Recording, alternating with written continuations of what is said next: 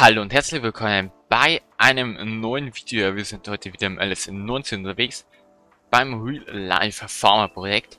Und ja, heute gibt es einige Neuigkeiten zum LS22. Ähm, ja, wir werden heute im LS19 die Ballen wieder einsammeln und ja, mal schauen, was wir, wir mit denen machen, weil ich weiß nicht, wo die anderen hin sind. Die sind irgendwie verschwunden. Keine Ahnung, wo die hin sind. Auf jeden Fall, ähm, werden wir jetzt ähm, ja, die wieder hinstellen. Und jetzt kommen wir zu den LS22 News. Und zwar, ich kann es selber fast gar nicht glauben, wird im LS22 wird äh, Crossplay geben. Ähm, ja, das heißt, es können alle Plattformen miteinander äh, spielen. Ähm, ich habe äh, neben mir einen kleinen Spicker. Und zwar, es können ähm, beim LS22 äh, Crossplay auf PC, Mac, PlayStation 5, Xbox Series X und S, PlayStation 4, Xbox One und Stadia äh, können miteinander spielen. Die Plattformen, die, äh, wo ich jetzt vorgelesen habe, die können alle miteinander äh, spielen. Jetzt werdet ihr euch natürlich fragen, äh, auf äh, Konsolen ging doch immer zur Zeit, oder ging jetzt nur, ähm, also da konnten nicht 16 mitspielen, sondern bloß 6 oder 8. Äh, das ist auch ganz einfach gelöst, und zwar, ähm, können, äh, wenn ein PC-Spieler äh, das Spiel hostet, können 16 Leute drauf ähm, und ähm, wenn der Hoster äh, der Hoster eine äh, Konsole, also wenn der Hoster eine Konsole hat und der das hostet, können nur sechs Leute drauf. Und wenn man sich äh, einen Server äh, mietet, zum Beispiel bei Nitrado oder den anderen ähm, dann ähm, können 16 Leute auch drauf. Also das ist dann praktisch wie PC. Äh, da können dann 16 Leute drauf. Ähm, und es können Konsolenspieler jetzt auch ähm, einen Server hosten äh, bei Nitrado.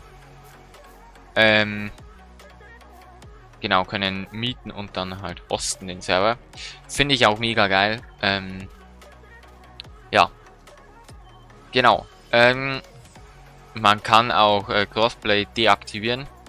Ähm, also das heißt, wahrscheinlich bei der Suche nehme ich jetzt mal an, dass man nicht äh, alle Server findet, wo irgendwas, wo gerade online sind, sondern nur, dass man zum Beispiel PC-Leute findet, wenn man am, selber am PC spielt. Oder die PS4 nur PC, PS4 oder PS5 Spieler findet und so weiter. Denke ich mal, das ist gemeint, ähm, dass halt einfach wenn halt wer keinen Bock auf Cosplay hat, dass er da nicht auf einen falschen Server sozusagen joint. Genau. Ähm, ja, äh, das Spiel äh, speichern geht wisst wie bisher. Ähm, also derjenige, wo das aufgemacht hat, der ähm, kann es auch dann wieder speichern. Ganz normal. Ähm, genau. Und ähm, Mods und DLCs ist auch noch ganz wichtig. Ähm, man muss die gleichen Mods und DLCs haben. Ähm, das heißt wahrscheinlich, wenn man mit PS4 oder halt mit Konsolen allgemein zusammenspielen will, äh, wird man weniger Mods äh, drauf tun. Ähm, weil sonst können die ja auch nicht mitspielen, weil die ja, weil dann ja die Mods fehlen. Äh, das ist so. Äh, Konsolenspieler können außerdem nur dann einen Server beitreten, wenn die dort installierten Mods auch im offiziellen Mod-Hub sind. Also das heißt, ähm, äh, PC-Spieler können sich ja von überall die Mods downloaden, aber die Mods müssen, wenn man äh, mit PS4 oder mit, ähm, mit Konsolen spielen will, ähm, dann muss das vom Mod-Hub sein, äh, vom offiziellen also von denen wo Ingame ist praktisch. Äh, bei PC ist er Ingame bei, äh, bei die Konsolen ja auch. Äh, ansonsten geht's leider nicht. Wobei finde ich jetzt auch nicht so schlimm. Ich finde es ja schon mal cool, dass überhaupt die ganzen Plattformen miteinander spielen können. Ähm, das heißt, ich werde dann auch ähm, Streams machen, wo wir zum Beispiel alle miteinander Mais häckseln. Dann kann wirklich jeder mitspielen. Dann heißt es nicht mehr, ähm, weil ich am PC spiele, ähm, kann ich mitspielen, weil ich auf PS4 oder so spiele. Wie es ja zurzeit eben LS 19 ist. Dann heißt ja natürlich kannst du mitspielen. Ist ja egal welche Plattform.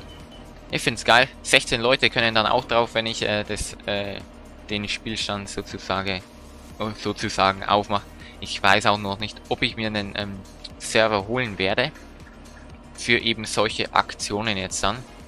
Ähm, mit einem Server läuft das halt alles ein bisschen, ähm, wie soll ich sagen, ein bisschen besser von der Performance und so weiter. Muss man sowieso erstmal schauen, wie es von der Performance hinhaut. Ich denke mal, für PC wird es kein Problem sein, aber die äh, Konsolen weiß ich nicht, ob die da mitkommen. Ähm, genau, das sind jetzt so die äh, Neuigkeiten. Finde ich auf jeden Fall mega, ähm, dass das jetzt reinkommt. Einfach geil. Ähm, genau. Und noch was. Ich habe mir den LS22 auch geholt. Ich blende euch jetzt auch mal einen Clip ein. Ähm, ja, da habe ich mir den äh, LS22 geholt, äh, die äh, Day One Edition. Da habe ich das Glas äh, Pack mit dabei und noch ein Pack dabei. Ähm, oder ich glaube bloß das Glas Pack. Ähm, auf jeden Fall seht ihr jetzt gerade das Video. Ähm, habe ich mir jetzt gestern, nee, vorgestern geholt. Und äh, die Neuigkeit ist gestern rausgekommen, dass man eben, dass äh, alle Plattformen miteinander spielen können. Genau. Ähm, ja, jetzt habt ihr das auch gesehen. Ähm, genau, was ich heute im Video eigentlich machen wollte. Wir sind ja jetzt eigentlich nur rumgesprungen praktisch. Ähm, ich wollte jetzt eigentlich da mal ein bisschen aufräumen, weil ich, ich ähm, weiß selber nicht, was jetzt zurzeit ansteht. Muss ich jetzt erstmal schauen. Äh, wir räumen jetzt erstmal das noch auf. So. Dann einmal aufräumen. Ähm, und ja, wo die Ballen hin sind, die anderen weiß ich leider nicht. Keine Ahnung, sind wahrscheinlich weg. Ähm, aber ist egal, sag ich jetzt mal. So, wir stellen den Hänger da wieder hin. Ja, wie gesagt, wir räumen jetzt ein bisschen nur noch auf und dann war es auch schon wieder. Weil ich selber zurzeit keinen Plan habe, was wir jetzt noch machen. Und jetzt ist so ein Punkt, jetzt freue ich mich richtig auf den LS22, ähm, wenn alle Plattformen miteinander spielen können. Ihr könnt auch gerne mal in die Kommentare schreiben, wie ihr das findet, dass alle Plattformen miteinander spielen können. Ich finde es auf jeden Fall mega. Ähm, genau. Und ja, wenn euch die Videos gefallen, könnt ihr auch gerne ein Abo und ein Like da lassen, Glocke aktivieren, um nichts mehr zu verpassen. Ja, es kommt jeden Montag und Freitag ein LS19 Video. Dann, wenn der LS22 draußen ist, natürlich ein LS22 Video.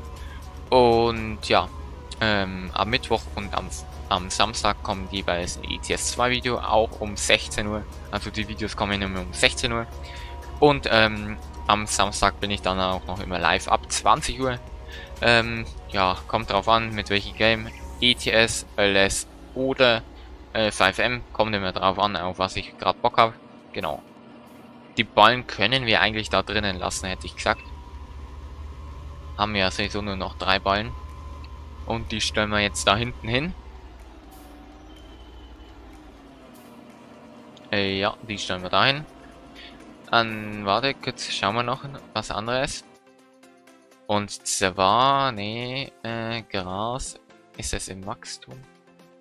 Das ist erntereif, wäre das. Nee, das ist das Gras. Nee, ist äh, abgeerntet, okay.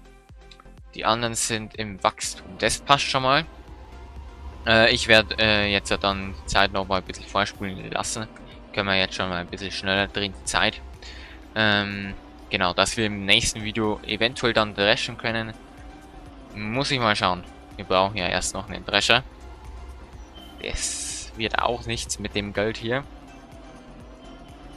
Ähm, so, dann stellen wir den wieder so schön hin. Den Hänger. Bleiben halt die Ballen jetzt oben.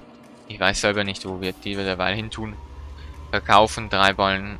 Ich weiß erstens mal nicht, wo man die verkauft jetzt. Äh, und zweitens, sie stören jetzt drei Ballen auch nicht so. Genau, ähm, wir könnten aber jetzt trotzdem was machen und könnten uns jetzt von der Bank Geld leihen. Ich weiß gar nicht, wie oft ich mir noch was leihen kann. Äh, schauen wir einfach mal schnell. Äh, das ist hier, hier, hier, hier. Line. Ich drücke einfach mal ein paar Mal drauf, weil wir brauchen schon ein bisschen Geld für einen Drescher. Aber wir kaufen uns jetzt noch keinen Drescher. Oha, wir können uns ja noch viel leihen. Warte, so viel brauchen wir jetzt nicht. Ich sag mal, so viel könnte für einen Drescher reichen. Wir schauen erstmal, weil kaufen tun wir, und, oder wobei kaufen könnten wir uns auch einen. So einen kleinen, hm, ja, den nicht. John Deere. Der kennt, ja, okay, den John Deere, der wird ja, was hat denn der für ein Schneidwerk? Weil das Schneidwerk ist immer ziemlich wichtig. Äh, ja, das ist das falsche Schneidwerk. Wir brauchen ein Schneidwerk. Ich sage auch noch Schneidwerk und dann äh, schaue ich trotzdem ins falsche. John Deere hätte so ein großes. Hat John, John Deere hat auch noch ein kleines. Wobei... Ja, Glas. Wie viel kostet ein Glasdrescher? Vom DLC... Oh. Oh, Oh. Wenn wir uns... Warte, da ist noch kleinere. Wenn wir jetzt den kaufen... Das ist ein äh, kleiner Drescher. Wie viel kostet der? 100? Ja. Und Schneidwerk hat der das kleine, aber 5. Ja, ich glaube, den kaufen wir uns direkt. Dann vergessen wir schon mal nicht. Äh, Farbe passt. Ich an den Schwarz. Hey. Okay. Äh, kaufen einmal. Und dann einmal den, äh, das Schneidwerk noch. Ich weiß nicht. Passen wir durch die Straße damit? Oder wir brauchen einen... Wo ist denn das jetzt? Schneidwerkshänger. Ist er nicht da? Nee. Ähm. Da. Ganz, doch, den ganz kleinen. Ich glaube, der ist sogar für das. Den kaufen wir uns auch noch. Und dann hätte ich gesagt, springen. Oh nee, es wird Nacht. Oh nee, oh nee, oh nee, oh nee. Springen wir einmal schnell zum Händler. Wir stellen kurz die Zeit noch mal runter. Da haben wir das Zeug. Aber ich hätte gesagt, äh, das ähm, werden wir im nächsten Video dann ähm, hochbringen zum Hof. Ähm, genau. Dann will ich auch schon wieder sagen, was ist mit diesem Video. Wir sehen uns dann am, äh, ja, am Samstag, also morgen um 16 Uhr im nächsten Video wieder. Das ist dann ein ETS 2 Video oder morgen ab dann im Stream um 20 Uhr. Was ich streamen werde, weiß ich noch nicht. Aber auf jeden Fall werde ich live sein. Dann würde ich sagen, bis dahin. Ciao!